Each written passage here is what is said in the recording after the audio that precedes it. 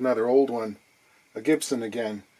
This guitar has been subcontracted to me from another repair person for a neck reset.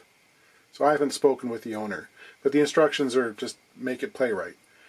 It was described to me as an LG1, but looking at it, I can unequivocally state that it is not. This is a full-size dreadnought, 16 inches across the lower bout. And looking at the purfling here, I see a single black-white line uh, and then the binding. So that tells me I'm probably looking at a J45. As for the date, this is before serial numbers were printed on the back of the headstock.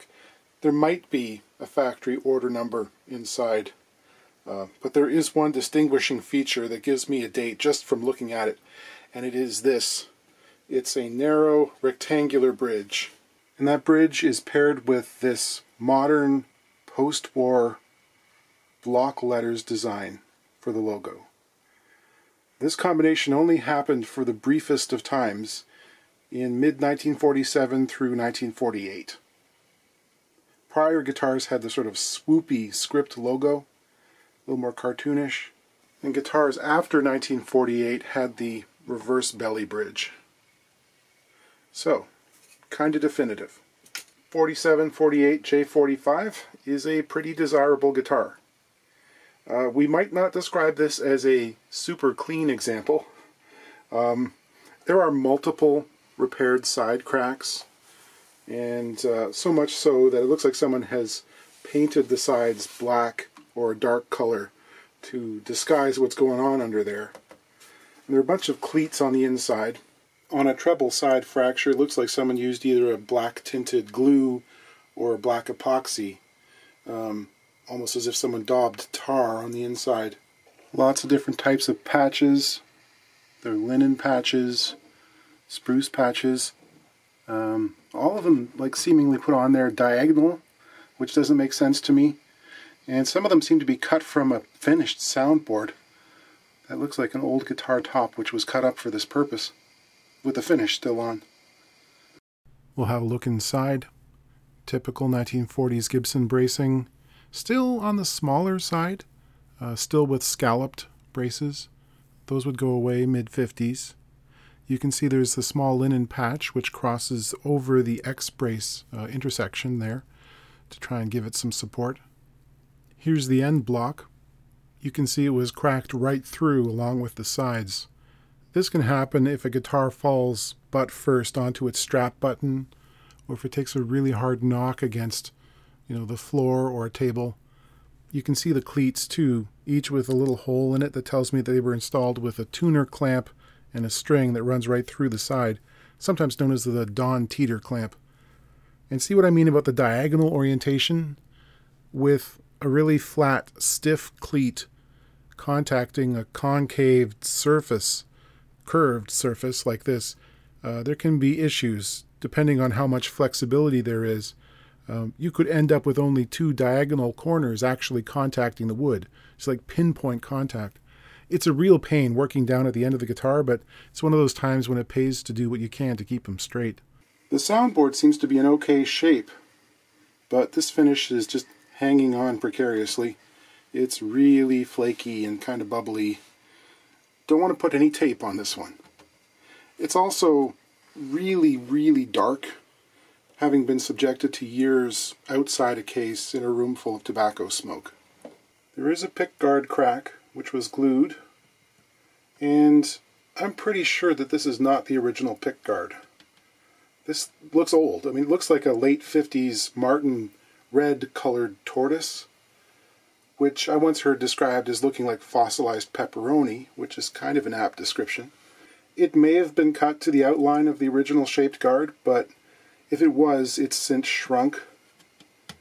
Always a bit of a worry, um, especially if the guard has to be removed to fix that characteristic crack there. When I do it, uh, if the guard's staying off the guitar for more than, say, 20 minutes, I immediately clamp the thing firmly between a couple of pieces of plywood or like melamine particle board, that kind of thing, to try and immobilize it because being stuck to something is really the only thing keeping them that size and shape. And they can shrink noticeably in a day or two. So Just something to be mindful of. The back too is in reasonable shape.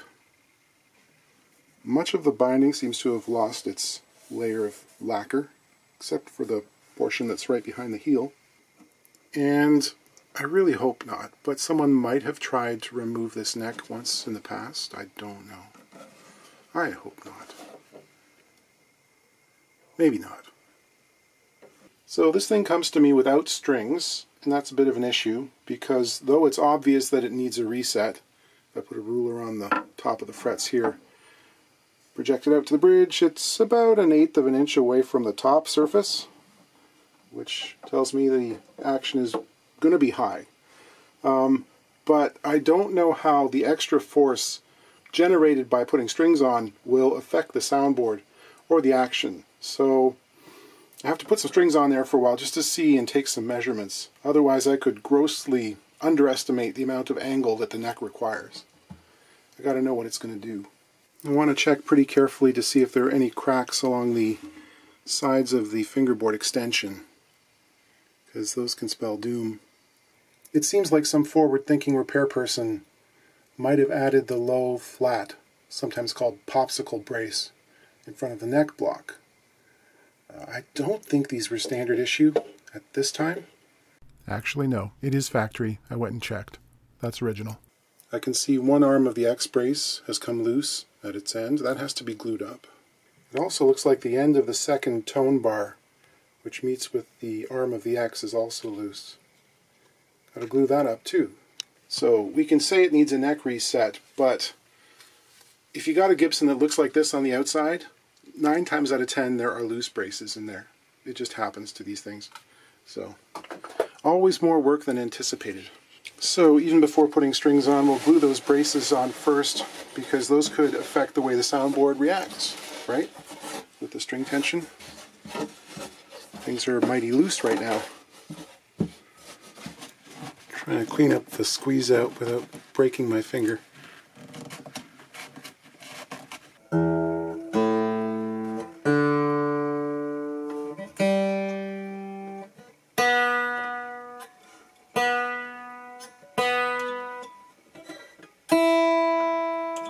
String tension reveals some difficult truths action is way high, 11 64ths, 9 64ths, that's like 4.3 millimeters. Mm. The back ends of the bridge wings are loose from the top. The saddle is extremely loose in the slot and it's leaning forward a bunch. Actually, the nut that came with this guitar, I'm not sure if this was original equipment or not. Uh, it Actually, it looks like it was cut for a lefty. Um, treble side is kind of okay. This is just sitting on top of the nut more or less and there's a huge amount of relief over the first fret. So I'm going to rudimentarily cut this down to a more appropriate height so I can get a better gauge of what the action would look like with a proper nut. So the action is more like 10 64ths. Still terrible, but it's information I gotta know. Neck relief, virtually none, maybe a thousandth. Very straight neck. Okay, the amount of threads exposed on this truss rod past the nut here suggests that there's a whole lot of tension on it by someone who is sort of desperately trying to bring down the action using the truss rod, which is not what it's for. Whoa. Okay, so I'm going to take some of that off. Okay, so I dialed in a more normal relief of about 5 thousandths, which will give us something to work with. Yeah, that should probably be re-glued, huh? This bridge is not in danger of coming off completely. Um, in fact, back here it's perfectly fine. It's solid. Um, because, of course, it's got the screws going through the soundboard. But I want the ends to be stuck down so they don't warp or cause future issues. In this case, I'm pretty safe in just putting some hot hide glue in there and then clamping them right back in position rather than pulling the entire bridge off because like, this is solid. Just the ends. They just need a little bit of extra encouragement to stay down. And finally, the thing I want to see when I project the tops of the frets to the front end of the bridge is the gap between the ruler and the soundboard and what happens when I take string tension off. With string tension, the gap was 1 8th of an inch. Without the string tension, it's 3 30 seconds.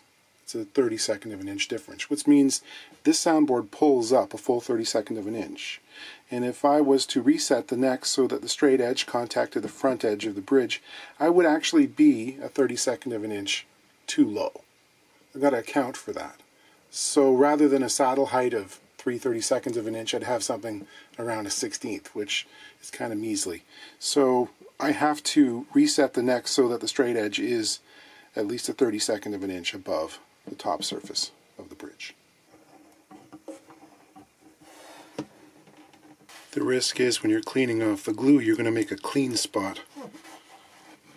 I'm only half joking about that.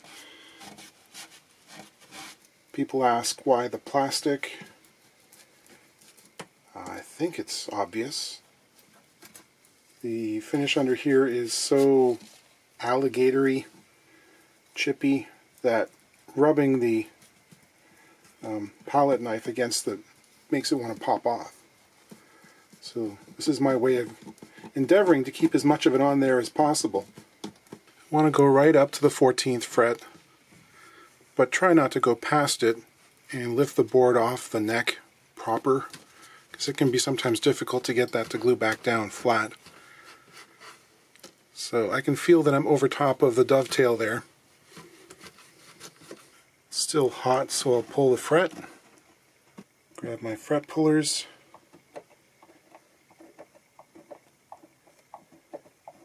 And gently take that out.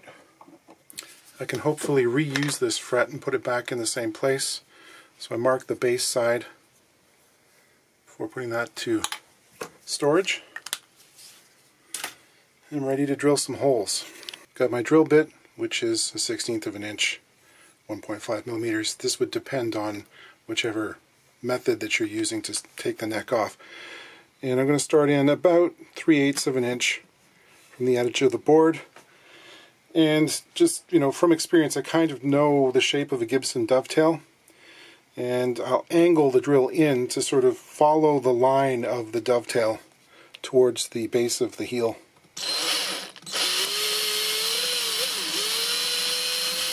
See, I've felt it clink into the open space there between the dovetail and the front side of its pocket.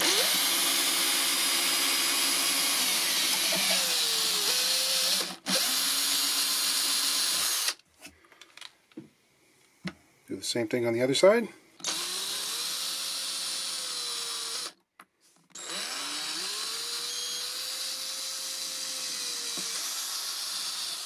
I've got my holes.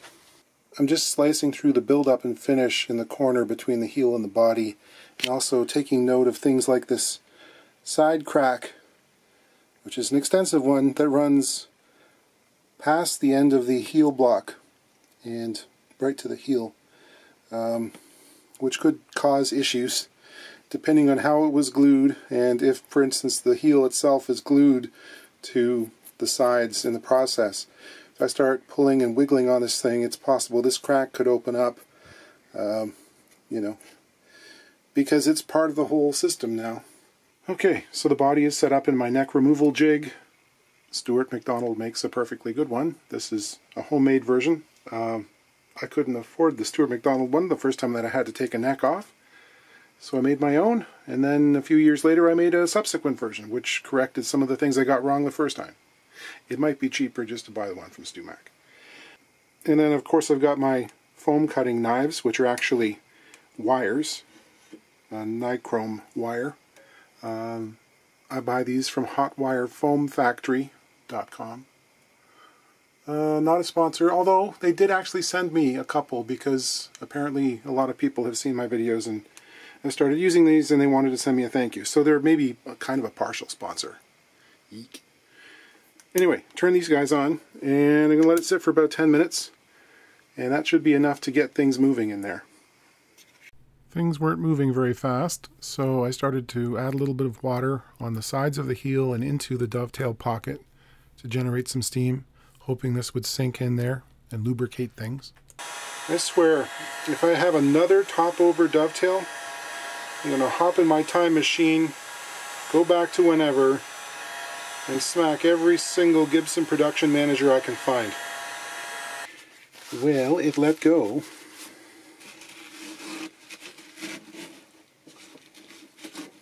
Okay, this is interesting to me because this took quite a lot of effort to get off. But once I get in here, the cheeks of the dovetail are essentially clean of glue. They look dry. It looks like there was never any glue on them actually. There's a little bit on the front surface here and a corresponding blob or two down in the bottom. There are some wet marks, but I'm kind of thinking those are the water that I put into the joint to try and loosen it up. I think it's possible that this thing was held together without glue. It was locked really securely, but it was a mechanical fit between the two parts of the joint rather than the adhesive holding things together. It's kind of interesting. There's a hairline crack through the heel which had previously been glued and which opened up upon heating, which I've re-glued. I'm just trimming a little bit of the excess material which is eventually going to get sanded away with a chisel. It'll save me some time.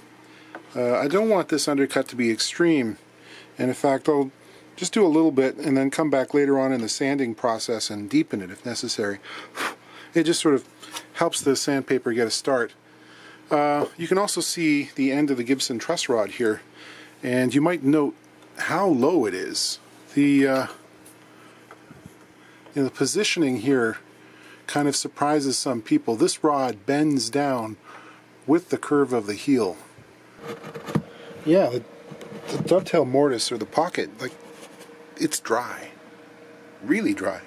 Ordinarily, the chisel makes a characteristic kind of crinkly sound. That sounds like raw wood.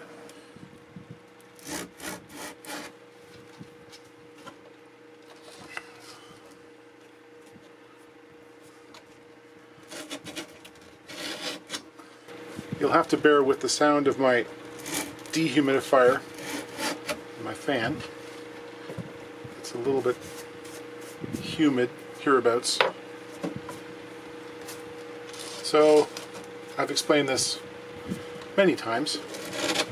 I'm pulling sandpaper through the joint from the area where the fingerboard contacts the front surface of the top to the back of the heel and by pulling this through the joint it's mating the two surfaces making them sort of congruent but they're also it's tipping the heel back because more material is being removed off the end of the heel. It's still being sanded all the way along where this portion up here is not sanded at all at this point. So this is what's tipping the neck. Uh, this is also loosening the dovetail in its socket.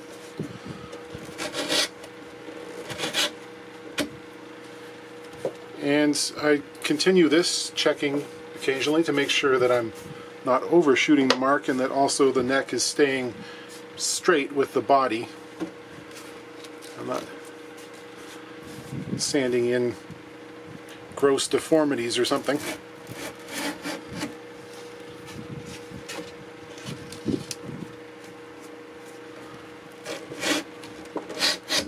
And every so often I have to sand the portion of the heel which is not being contacted by sandpaper during this process. There's a little section in the middle here which isn't being hit by the sandpaper. It's the width of the end of the dovetail or thereabouts. So I'll come back and get rid of that. Otherwise it starts to feel like you're making absolutely no progress because you aren't really. This little segment will hold the heel above the body and the sandpaper can't do its work. So I'll go back and do this, do about five or six strokes, and then continue. I glued shims to both sides of the dovetail, and I'm progressively sanding and scraping them down. Okay, with shims in place, I can slide the neck into the pocket, and um, there is still a gap of about a quarter of an inch between the fingerboard and the soundboard. And uh, I can rock this back and forth. It won't go in all the way, but I can rock it up and I can tell that the end of the dovetail is loose. So I'm going to work on portions of the shims that are higher up and then dial that down. Um, ideally I want the snuggest part of the dovetail to be the end of the tail because that's the portion that could possibly pull away in future. Um, that's a dangerous part. That's where all the force is centered.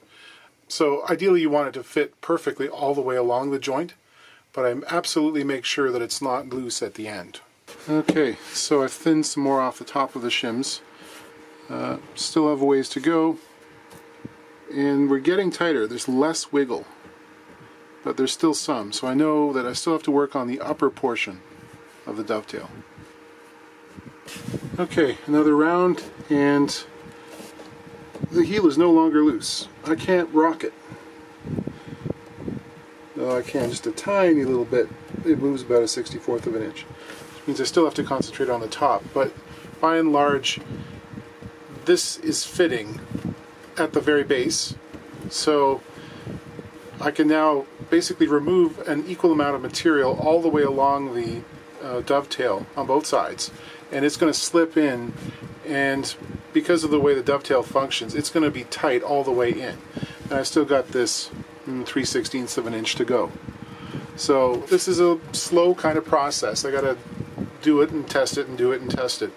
And uh, eventually sneak up to the point where it bottoms out and it's snug all the way along its length. I want to check pretty frequently with a string to check the line of the strings versus the center line of the neck make sure that I'm not tilting it one direction or the other. And it seems good. Okay, that's locked in place. It's not going anywhere. Um, it is very solid. Like, this thing isn't coming out. I have to push with some concerted effort to get it to come. Uh, so I feel confident in that. It's going to lock up securely with the glue. I once saw a factory tour video from some manufacturer somewhere who will remain nameless, and I saw people putting together guitars where they would slide the neck joint into place and it would be like this.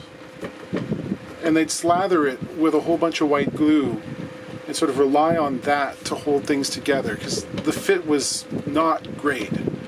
And I was thinking to myself, boy, those things must have really self destructed pretty quickly because I mean you want it to be mechanically locked. Like this guitar was, you know, it survived 70 years with without any glue.